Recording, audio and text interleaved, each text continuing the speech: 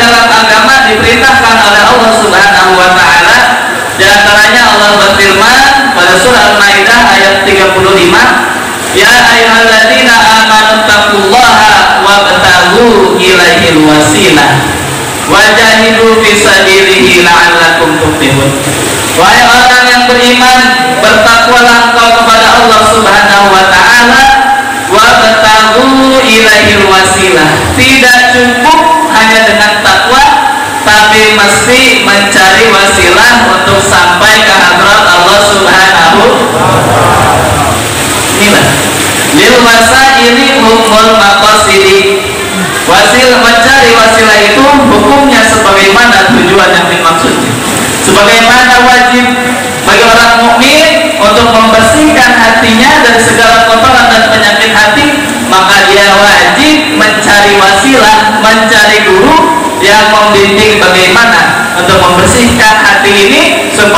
kita ini bersih sehingga kita bisa usul ke hadrat Allah Subhanahu.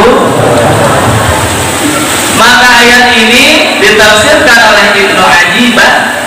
Di dalam kitab beliau Al-Tahrul Madid mentafsirkan masalah wasilah.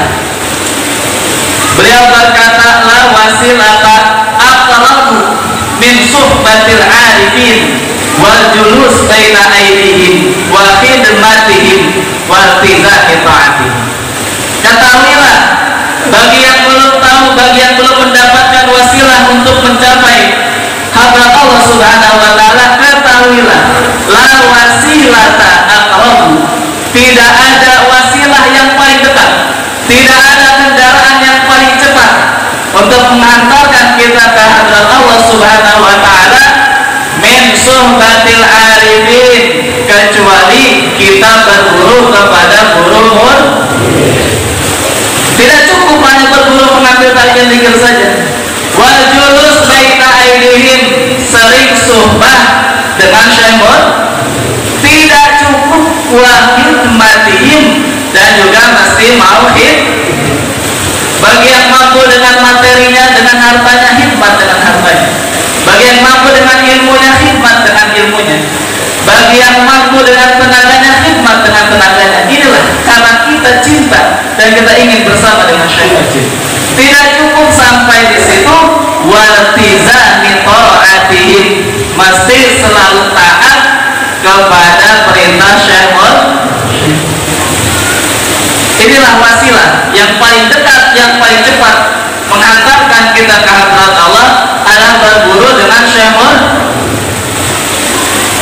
maka dikatakan faman rama wasilatan tusilu ila ilahiyah min ghairi hadihi fahuwa jahilun bi ilmi tariq.